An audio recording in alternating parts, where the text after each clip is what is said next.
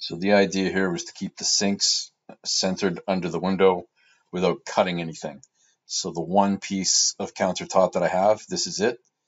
And the expectation was that it would butt up against the wall, which uh, I can't do if I want to keep the sink centered under the window.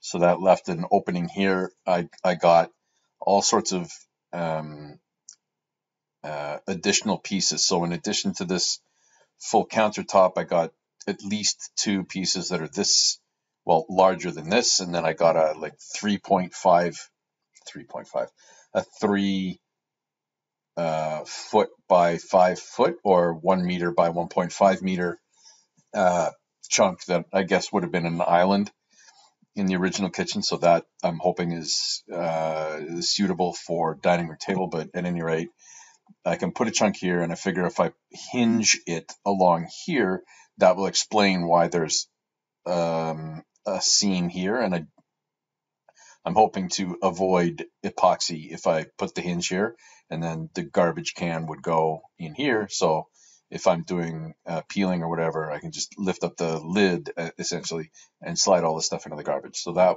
that was my clever idea. I don't know if it's going to go that way or not, but at least with that extra chunk, uh, it, it makes more sense than the alternative.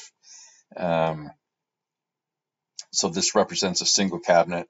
This is a single cabinet. This is a single cabinet, and this is a single cabinet. For the uppers, this one was sized for the bulkhead. This one was sized for symmetry with this, and this is whatever's left over. I may slice that in the middle, um, just so I don't have to spend too much time trying to figure out which side to put the hinges on.